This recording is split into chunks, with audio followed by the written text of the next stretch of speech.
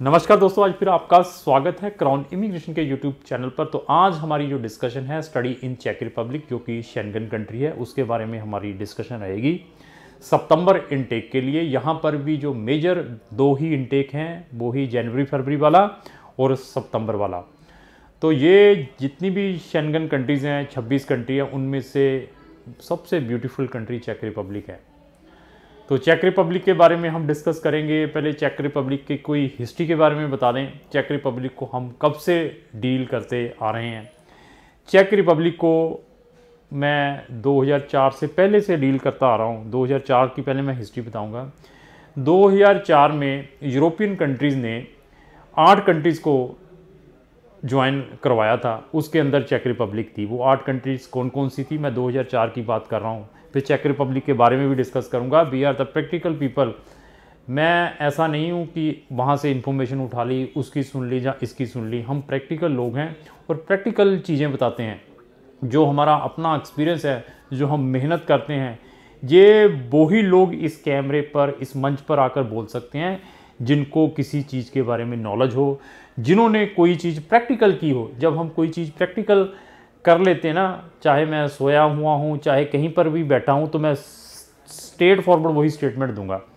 तो अभी मैं 2004 की बात करूँगा, जब ईजू कंट्रीज़ ने आठ कंट्रीज़ को परमिशन दी थी ज्वाइन करने के लिए, उसके अंदर चेक रिपब्लिक भी था, वो कौन सी आठ कंट्री थी?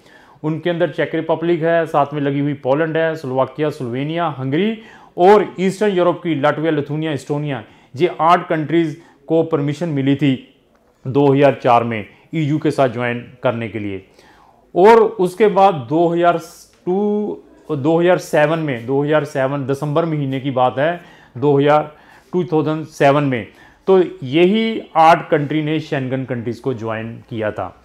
तो चेक रिपब्लिक ने शेनगन को दिसंबर 2007 में ज्वाइन किया था।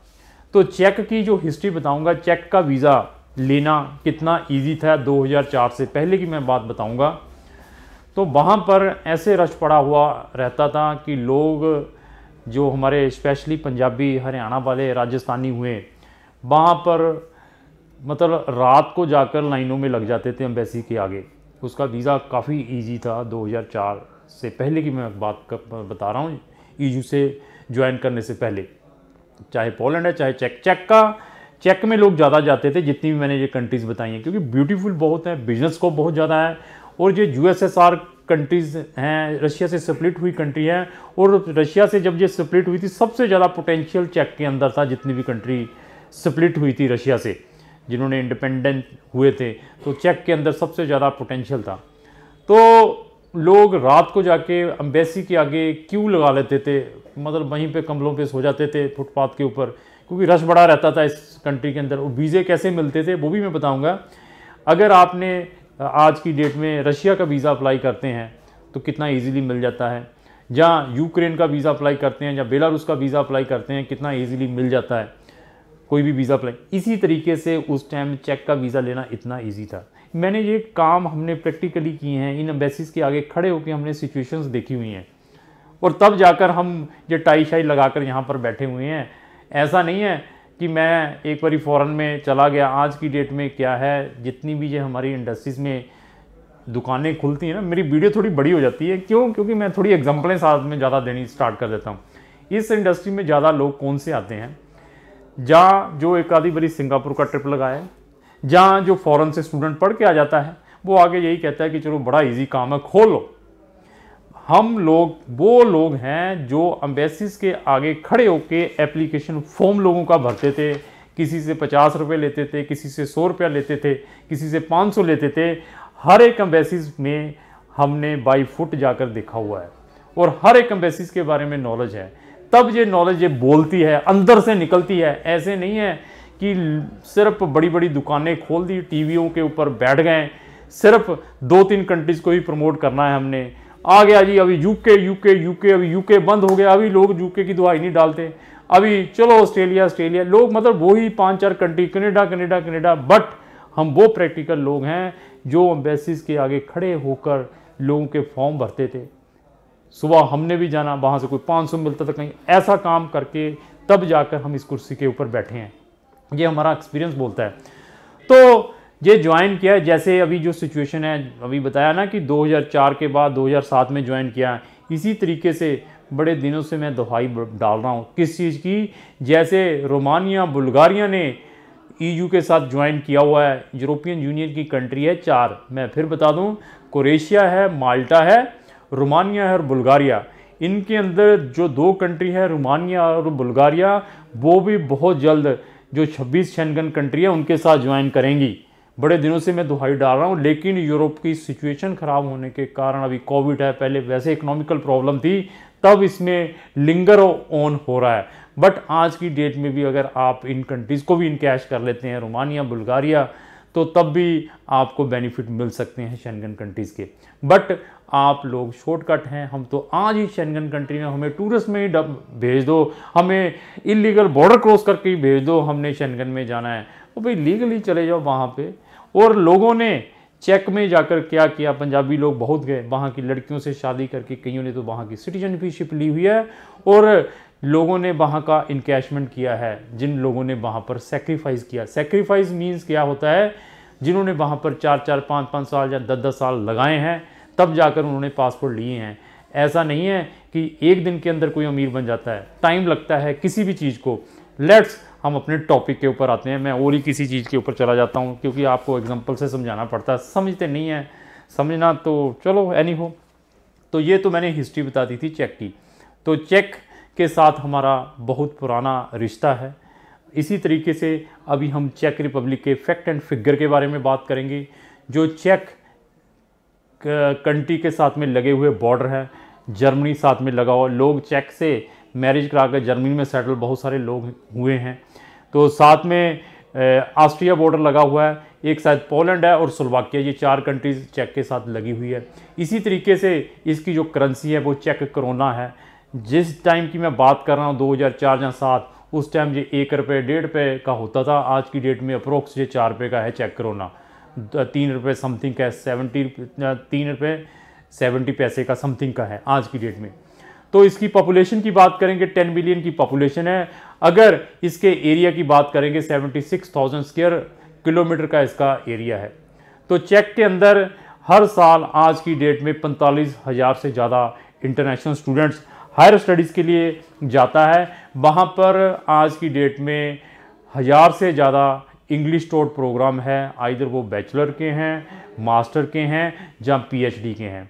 और वहाँ पर अप्रोक्स सेवेंटीज़ कॉलेज और यूनिवर्सिटीज़ हैं जो कि इंटरनेशनल स्टूडेंट्स को एक्सेप्ट करती हैं।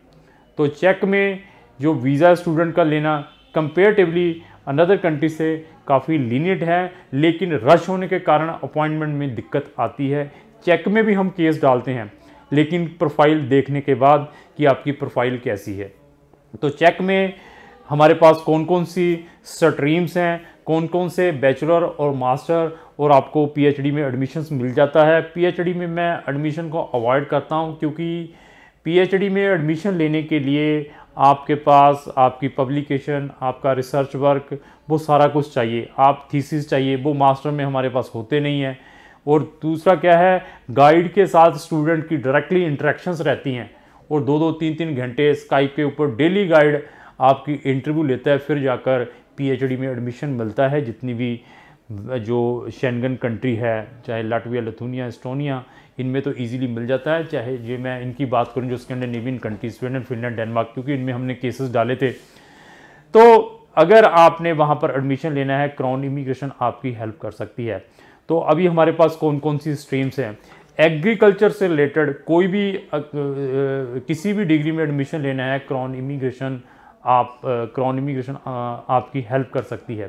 क्योंकि वहाँ पर 1400 में जो इस्टेब्लिश हुई यूनिवर्सिटीज़ हैं, जो रशिया की यूनिवर्सिटी है, चेक के अंदर है 1400 में, जो 1400 में इस्टेब्लिश हुई थी यूनिवर्सिटी तो एग्रीकल्चर में आपने बीएससी इन एग्रीकल्चर करनी है, या हॉर्टिकल्चर में करनी है, इसी तरीके से अगर आपने वेटनरी में अपनी कोई डिग्री बैचलर या मास्टर करनी है इंग्लिश में तो उसमें भी एडमिशन मिल सकता है। इवन चेक में हम एमबीबीएस के भी स्टूडेंट भेजते हैं हायर स्टडीज़ के लिए। उसमें भी आपका एडमिशन मिल सकता है।